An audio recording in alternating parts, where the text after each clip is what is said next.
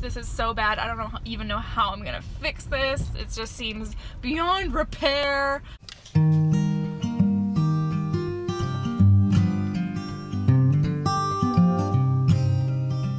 Whee! I'm going to pick up my book. Okay, my printed up pages of my book. So over the weekend, I tried, yesterday really, I was trying to figure out a way to print out my book and holy cow. Once it was all formatted in manuscript format on Scrivener, the page count was almost 600 pages. Talk about an overwriter. I have written way too much. I cannot believe this book is this long. There's no reason on earth for this book to be 600 pages long. So clearly I've got a lot of cutting back to do a lot of cutting out, a lot of snipping and stripping and well, not stripping, but my little printer gave up after trying 25 pages. So I was like, okay, there's no way my printer can handle this. So I'm gonna have to take it somewhere to print it. And I looked around at different pricing. FedEx would have charged me $366. Yeah. So obviously didn't go with FedEx. so next I looked at Office Depot because I think that's where Kate Kavanaugh gets hers printed, I'm pretty sure. And she usually does them spiral bound and I was like, man, that's gotta be expensive. If just to print the pages alone at FedEx was gonna cost me almost $400, I was like, I don't know if I can do this. That's when I tried printing from home. And then, um, wow, something weird just happened on the screen. I don't know what that was, but anyways. So next I looked at Office Depot and I found a way to cut my pages down because the limit for pages in a spiral bound is 230 pages and I was like, man, is there any possible way I can cut this down to 230 pages? And there was. Basically, I made the font smaller and then decreased the spacing between the sentences. And so it's all kind of squished together and tiny, but it is under 230 pages. And so it was able to fit in a spiral bound. So I've had it printed at Office Depot and I'm going to pick it up now. So I'm excited. Ah, see my book kind of in bookish form. Let's go pick this up. Ah my heart the pain gets smart The wind gets start to carry me away.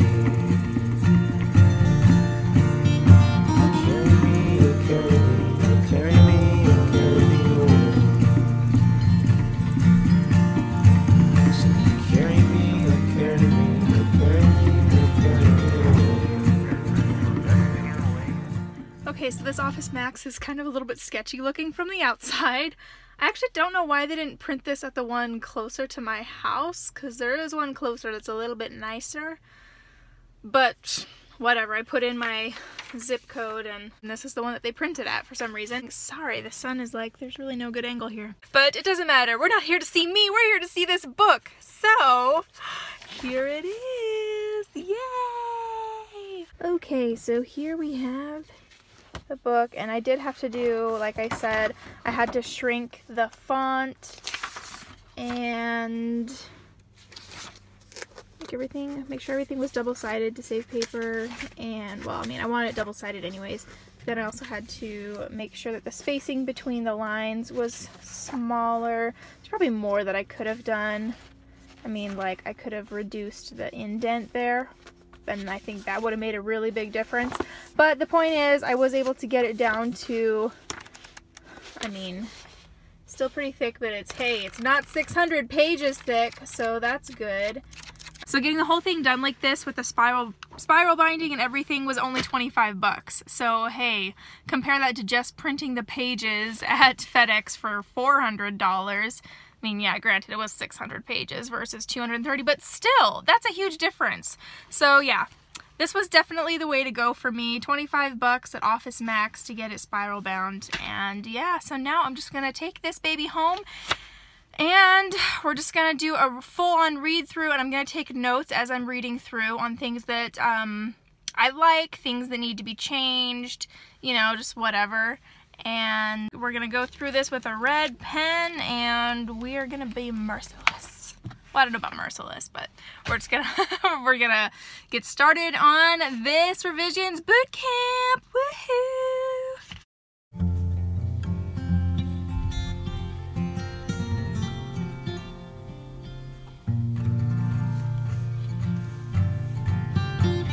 Your little darling, putting yourself up with your balloon.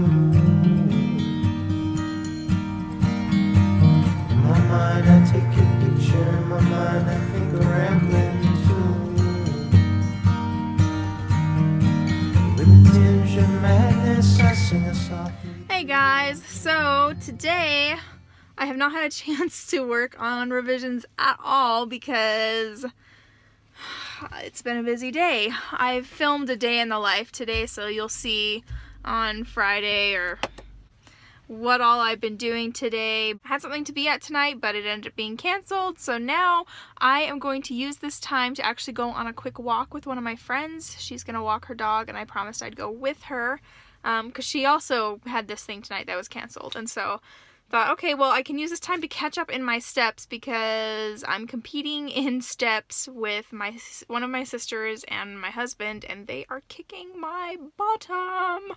They're way ahead of me right now, even though I started off the day super ahead, falling behind. So I am going to go with them and I mean, yeah, so I'm just gonna go for a walk, drop off this book at the library that is like a week overdue. Holy cow.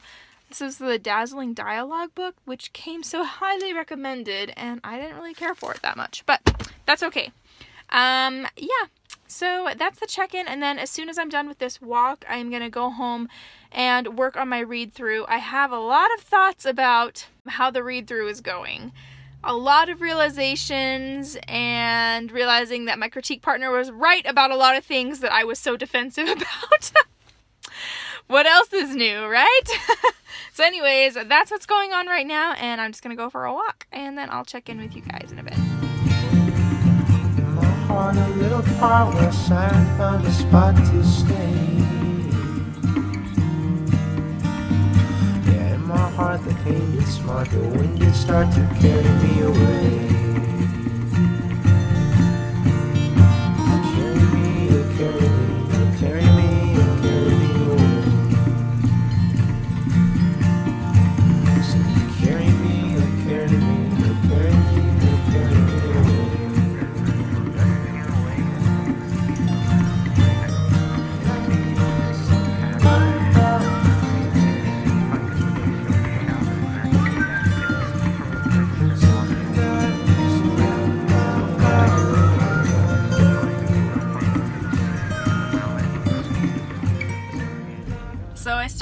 Vlog in the car. It uh, seems only fitting that I end it in the car as well.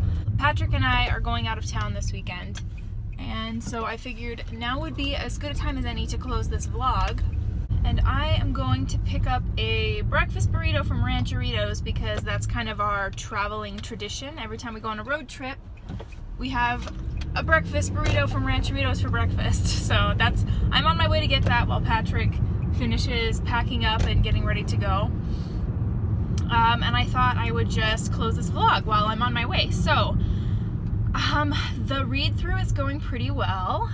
It is a long book. Holy cow. I admit, there have been some sections that I've just kind of like grazed through or skimmed over and just drawn a long line through the length of the passage and just written on the side, cut all this out, totally unnecessary. so yeah, I'm definitely an overwriter, but I think I know what the I think I know why I was having such a hard time rewriting the beginning. It's because I didn't know what the problem was. But now that I've been reading through it, I found that the major problem with my beginning is that you don't really get to know the main character, Mercedes, very well. Even though it's written in first person, I think I took that for granted, just thinking if it's written in first person, you're gonna feel like you know the character really well. But that's not the case at all. What really ended up happening with my beginning is that I spent so much time describing other characters and what Mercedes is seeing from these other characters that you really don't get to know her thoughts on any of it, and you don't really feel like you know her at all.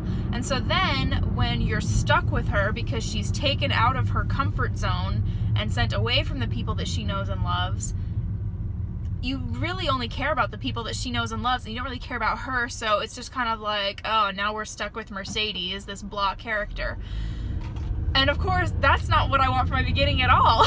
and so, um, it was really good to do a read through and find that for myself that, like, wow, as a reader, I don't feel any connection with this main character at all, and I'm stuck with her because I'm seeing everything from her perspective. So, I definitely did change that. And that's why every version of the beginning that I tried to write wasn't working out. It's because I just kept changing where she was and who she was with, but what I needed to change was her, really. I mean, like, you don't see any of her real motivations in the beginning. You kind of know what she wants, but her drive to get it is not that strong, and I think that's why she was hard to relate to. I just really need to kick that up several notches and make her drive a lot stronger for what she wants.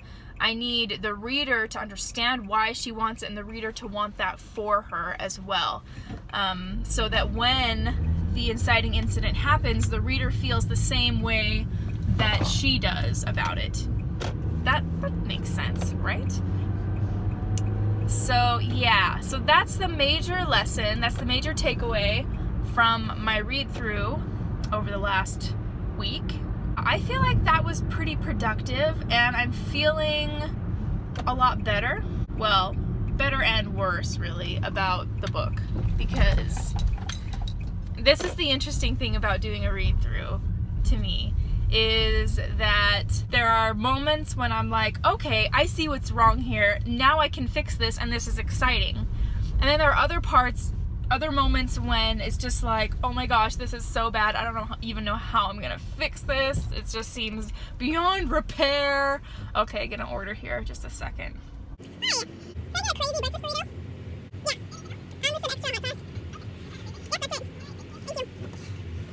Thank you. Okay. Um, Yeah, so it's just like this going back and forth between I'm really excited about this because now I can see the changes that need to be made and so I can make them and I feel empowered and I feel like, yeah, I'm doing it. I'm improving my book, even though I haven't started improving it yet because I'm sworn off of fixing anything until I've done the complete read through. But I'm taking copious notes.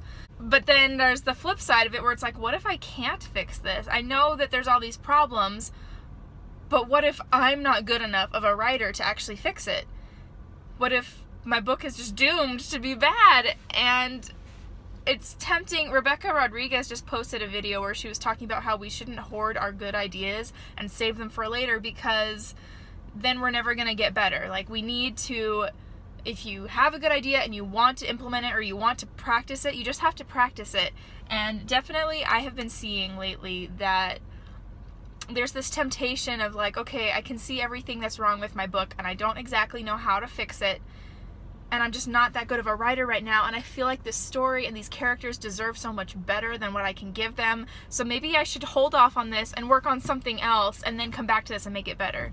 But if I keep doing that, it's never going to get better. And who's to say that my grand ideas that I have right now are the best ideas I'm ever going to come up with? That this book, Untamable, is the best book I'm ever gonna write. That would be really sad. I am trying to trust that there are greater ideas on the horizon that I just haven't come up with yet, and this is my time to practice with this great idea that I have now. So I'm just going to do my best and keep revising and editing and keep reading through next week. And so that's really all I have to say for right now. I don't know what I expected from the read through. There are some times when I'm impressed with my writing where I'm like, hey, this is better than I thought that I could do. And then there are other times when I'm like, come on, Railee, you can do better than this. Um, what were you even thinking? And most of those times are like, oh, I was trying really hard to meet my NaNoWriMo deadline because it was midnight and it was the last day of November, you know? Like, I can definitely see that in the writing, but still, it's probably going to be this way for every phase of the writing journey that it's tempting to think that every other phase is better than the one that you're currently in. Like when I was drafting, I was like, I cannot wait to get to revisions and editing because it's going to be so much easier because I'll have something to work with. And now that I'm in that phase, I'm thinking, you know, like, oh, I kind of miss drafting. Well, not really. kind of. Sometimes I miss drafting a little bit, but the truth of it is I still have some drafting ahead of me because I need to rewrite the beginning. That'll be some drafting, and it will be a little bit easier to rewrite the beginning because I'm not going off of just like completely scratch. I have something to go off of now, which I didn't have for the original draft, and so that's good. I'm just babbling on now. What really needs to happen is I just need to end this vlog so that you all can go on with your lives. Um, th- so yeah, um, once I get to a red light, I can actually look you in the eyes. Well, in the camera.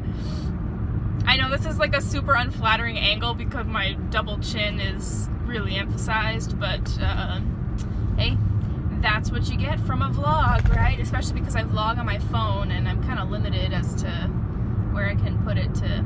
Anyways. Blah, blah, blah, blah, blah. So, yeah, that concludes this Revisions Bootcamp vlog for week one. Thank you guys so much for watching and for joining me on this journey. Please comment below how your writing journey is going, whatever phase you might be at. Um, and good luck to everybody, and I will see you guys next week. Bye. Rain, would you come take a walk with me? We'll cross over the mountains we'll reach the pale blue sea.